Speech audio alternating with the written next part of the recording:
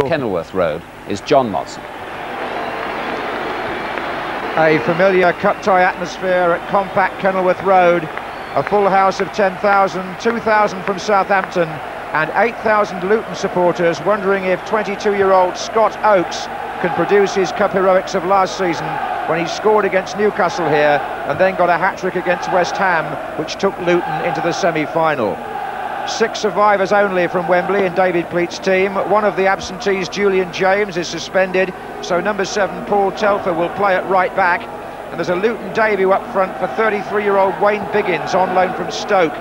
The sale of John Hartson has left Luton light in that area. Biggins' partner is another 33-year-old, Kerry Dixon, playing against one of his old clubs. And their manager, Alan Ball, is without Ken Monkou, who's suspended, Jason Dodd, who's ill, and Ronnie Ekelund, who's injured. So it's a five-man defence with Simon Charlton playing his first game since October. Up front, there's the Le Tissier factor with Saints' new capture from Chelsea, Neil Shipperley, who cost them £1.2 million. Gerald Ashby of Worcester gets this cup tie started. Luton in white, playing from the right. Kerry Dixon straight away to Biggins. Bustled off it by Magilton. Now Le Tissier.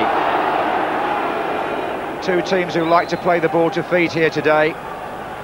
We'll see if they can do that in the hurly-burly of an FA Cup match. Here's Shipperley. It's got a bit of a ring to it, this fixture reminiscing before the game with Lawrie McMenemy about a match here a few years ago which ended 3-3 between the two clubs. Seen on Match of the Day, and it ended in fog. But the weather conditions here are fine. The pitch is very green for this stage of the season, possibly the best it's ever been here in January. And this is Bruce Grobbelaar. Straight to Oakes, though. It's got Dwight Marshall wide here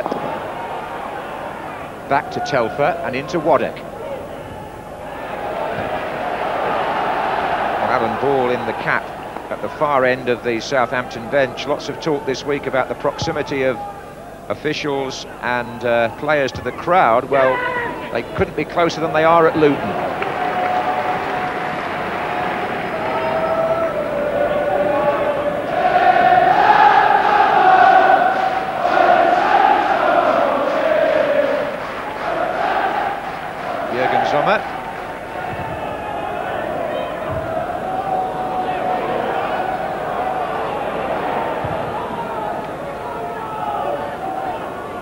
Oh, the flick on was by Kerry Dixon to Marshall.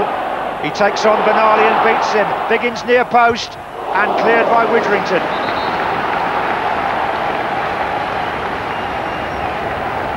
It's a good break by Luton. And now we'll see if the corners that David Pleat was practicing yesterday with Biggins at the heart of it in there are going to pay dividends today. He's got Johnson and Thomas coming up deeper from the 18-yard line. Oh, and there was Thomas and Johnson. Off the line, Mitchell Thomas's effort. And Oakes again for Luton. Well, they worked so hard in freezing conditions yesterday morning in the snow on that corner, and it nearly brought the first goal. Four in a line up front here for Luton. Oakes They've started well, the Endsleigh side. Telfer, Oakes again. This is Preece. Still got three in there, though. Waddock. Mitchell Thomas wide. It's going towards Marshall. Oh, and Charlton came in behind him, and Luton appeal for a push. Gerald Ashby says no foul. But the corner, delivered by Scott Oakes, caused Southampton concern. And watch for Mitchell Thomas coming in here. There's the header. And the man on the line just gets it away with Grobbelaar beaten. Simon Charlton, I think it was.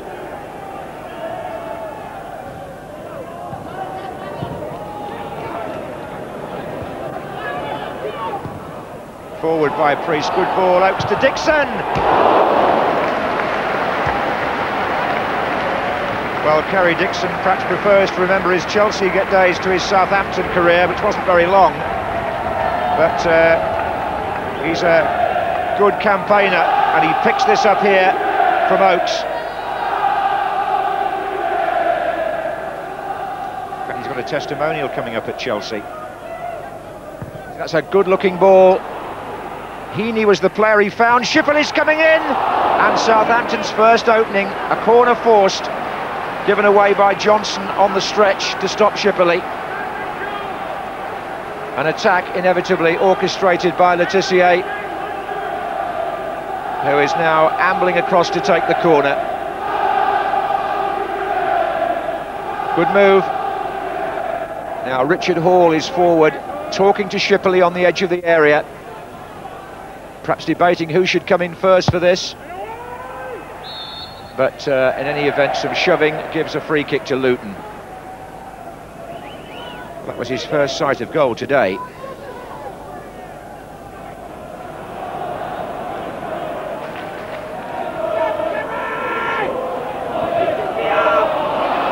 Oh, straight to Marshall. Now it's Preece. And a chance here for Oakes. Or maybe for Dixon. Yes, it was Dixon.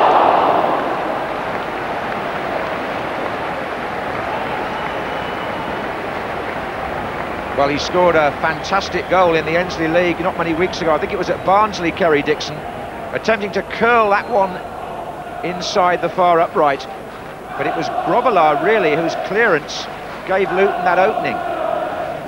Oh, it's a misunderstanding, and it's given uh, Biggins the chance to find Preece. Good early ball. Telfer the player making the break. But, uh... oh, he's out of his goal. Marshall They've got two in the middle. Grobbelaar's regained his position now. Marshall drives it. Biggins! Well, all sorts of reactions there. Biggins is uh, just notifying how near that was. Very close.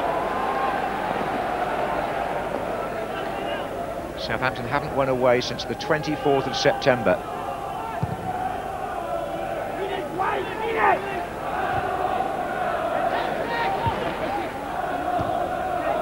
Heaney, Shipperley, Maddison sends Heaney on his way again. Defender is uh, Telfer.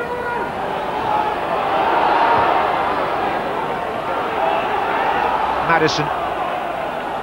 Widdrington, Le Tissier, oh, flicked on, Magilton, danger here, Shipperley! Good chance, the best Southampton have had He was in the clear there, didn't keep it down.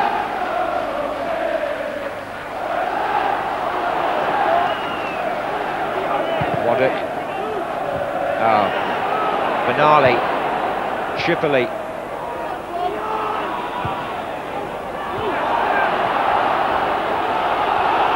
All a bit ragged there. This is Heaney. Oh, it's a good run by Heaney. Near post, Shipperley! Southampton are in front, and Neil Shipperley, having missed a chance earlier, is so glad to make amends. It's his first goal for Southampton, the 1.2 million pound signing, but all the credit really to Heaney initially. Shipperley didn't get the greatest touch on it actually, but it went inside the near post. Where the Luton marking was on Shipperley, I'm not entirely sure. I don't think they are either. Look where he's got away there from Marvin Johnson. But a goal is a goal, especially in a cup tie. And the Premiership team, who I have a feeling would be berated by Alan Ball at half-time, his words have had the desired effect. They're in front.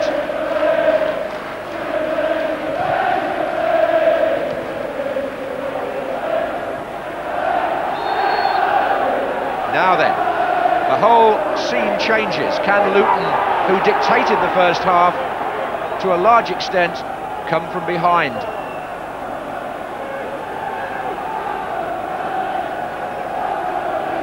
Johnson is up for the free kick. Telfer to take it.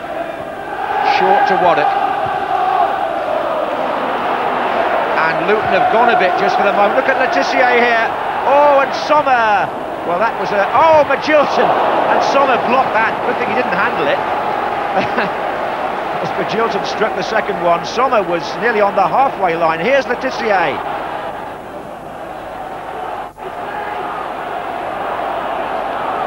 Now Preece. They've got runners up here. Dixon. It's got to go on again. Oakes. Oh, he's played that behind Marshall.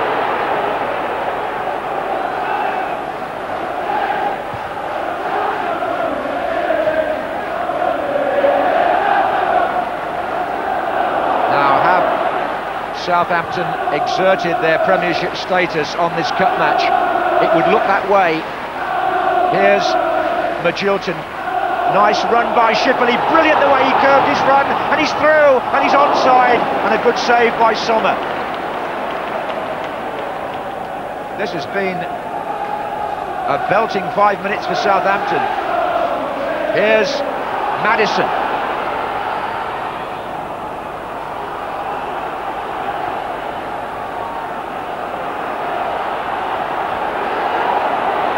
crowd trying to resuscitate Luton. Dwight Marshall. Waddock. Hammered away by Hall. Le Tissier's on the far side with Mitchell Thomas.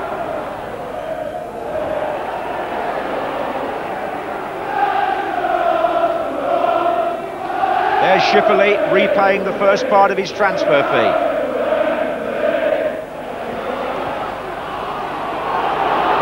Luton, if it's played right. Marshall, leave it to Preece, they're saying. Oh, they did, look at this. It's out to the where Grobbelaar is. Ah, oh, Scott Oakes, blocked by the keeper, who must have made 18 yards.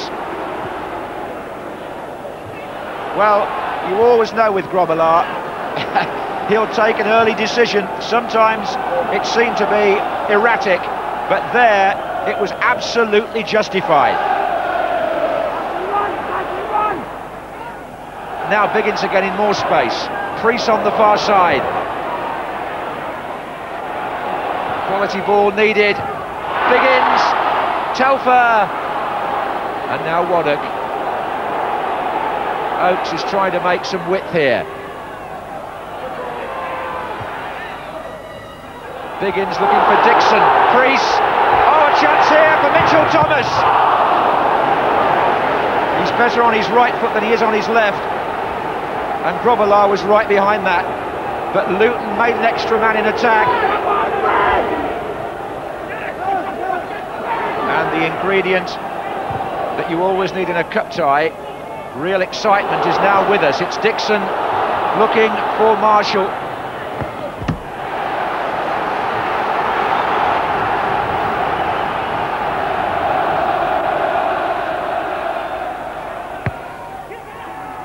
Telfer's there. Oh, and the header was by Johnson. It was scrambled away for a corner. On the far side this time. Good flick on here by Telfer. And look at that, really from there you'd think Johnson would have expected to score. But the cover was there. Away by Le Tissier. Back by Waddock, they want that width. Preece again, plenty in there for Luton. Johnson again! Benali jumped with him, and there was impact there. Preece can deliver these balls with his left foot all day long, and uh, they're diving in front of Johnson there to put him off. And Mitchell Thomas gets it down. Free kick Yes, it was. It was uh, who was fouled by Benali.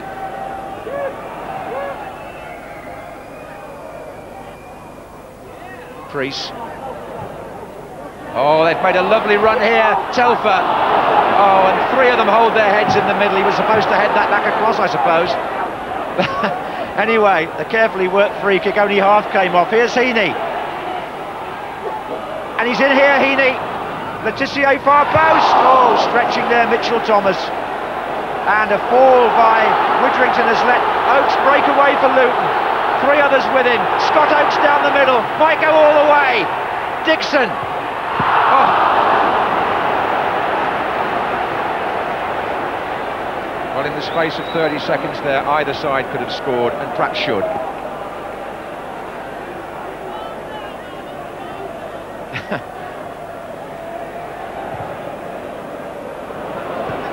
Getting some joy out of Heaney in this second half, Southampton. He's uh, found Charlton here. Now it's Neil Maddison. Shipperley is to his right, well placed. Oh, and Sommer again.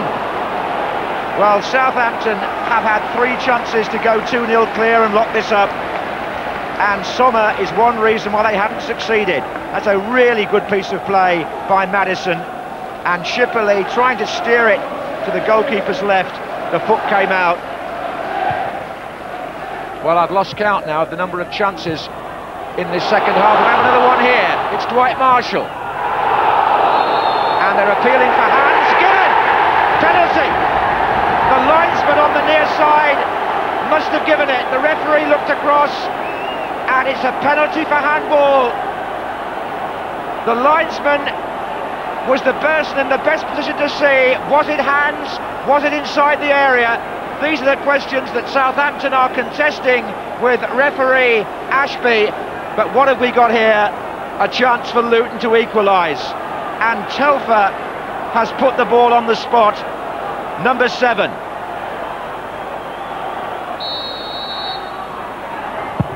Oh, Grobbelaar, great save! Mitchell Thomas can't get to it. Heroics here from the veteran goalkeeper who saves Telfer's penalty.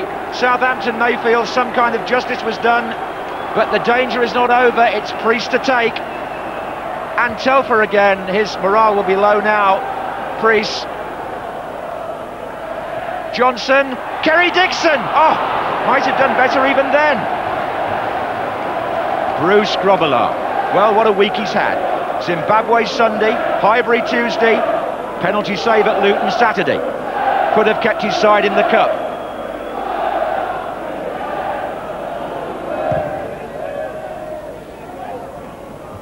Oh, good header on by Biggins. Marshall! Marshall! Oh, the best chance of all.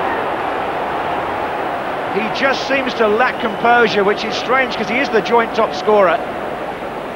But look here, he did the hard part. He got wide of two defenders, lofted it over the second one, but the volley straight at a grateful Grobbelaar.